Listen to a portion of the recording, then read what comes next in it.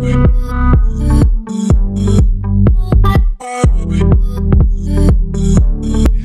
only thing I can tell them to do, uh, and this, you know, and I, I heard Warren Buffett say this, is to uh, constantly educate themselves on what their competition is doing and what where the market is going, uh, what they haven't done already, and where they need to be stronger. I mean, you know, Warren Buffett said it best. He said, you know, you're not going to be able to change what happens in the world, but the only thing that's going to be stuck with you for the rest of your life is you, yourself, and your Oh, education, powerful. right? And no matter where you go, you're there.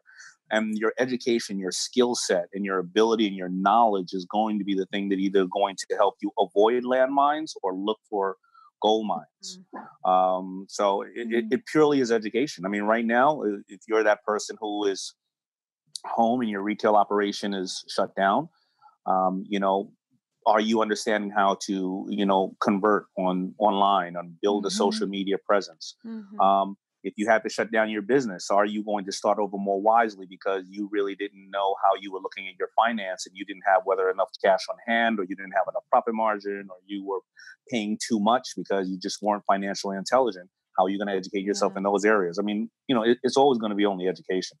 Yeah, I think Yeah. like as leaders, right, your business will only grow as far as you grow as the owner or the CEO. Like if you mm-hmm. limit your growth and education, you're going to limit the organization's ability to grow. So we can become the cap or the lid on growth if we don't continue to insist in our own professional development. So I, I know we believe that at Belay. It sounds like you do too, Daymond, that you know, investing in ourselves is the best gift we can give our companies to make sure that we are wiser and smarter and better and more educated tomorrow than we are today. Yeah, and you know, listen, um, I don't want people thinking that they are going to need to, you know, listen, running a business and it's hard, right? Uh, there's so many different categories. There is Mhm. manufacturer, distribution, advertising, marketing, finance, you, you know, all kind of taxes, all kind of things.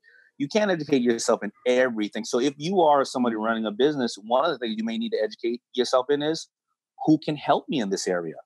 Right. How can I get somebody virtually to help me in this Mm-hmm. area or whatever the case is? Because I don't know. And I'm going to put out this fire right here. And I'm going to then educate myself on who else I need because I need to educate myself on my weaknesses.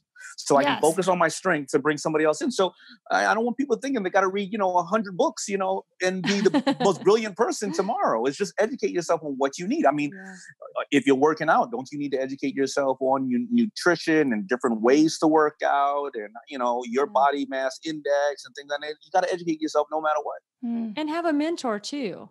I mean, obviously that you spend a lot of time, I know, mentoring business leaders. I mean, that's that's pretty incredible to have somebody in your corner.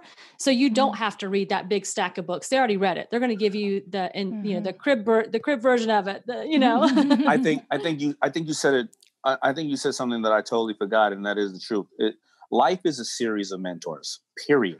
Yeah. Um, I am I am a product of a lifelong list of mentors. I still seek Mhm. mentors, and sometimes you know in my company there's reverse mentorship. You know, I'm Batman and everybody else is Robin, but most of the time I'm Robin. And they're Batman because uh, I shouldn't have hired them if they weren't smarter than me. And sometimes their mentors are the 18 year old digital natives that are communicating on the TikToks of the world and the Twitches Yeah. of the world. And I remember somebody said to me, probably about six months ago, they why are you studying TikTok? Now I don't I haven't found my DNA on TikTok and with this craziness, I've been a little busy, but I said I'm going to be looking. Yeah. Yeah. Well, you, you know what I said to them? I said, why? Because the 15 year old kid on TikTok who's on there today is going to be your consumer in 10 years. Yeah. Um, Oh, and right. you know, you need to think about that. We're we're in this thing for the long haul, and you need to uh, you know, basically go back to mentorship.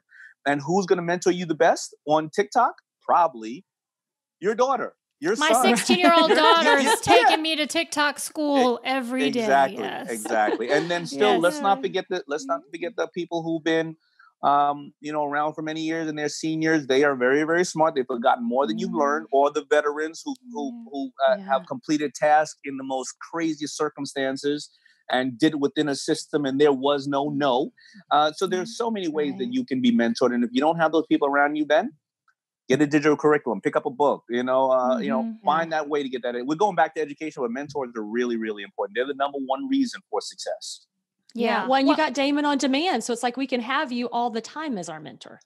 Absolutely. We have Daymond on demand. but again, you know, listen, what I find is why why do I listen to a lot of audiobooks is because all of these books were written and or by different people that may not know each other. Everybody from Gary Vee to Napoleon Hill to Tony Robbins, whatever. But if I see the same things throughout all these books, what is a big conspiracy? No, I mean they they're all telling they're you these something. ways. Yeah, they're yeah. onto something, you know. So why don't you listen, you know?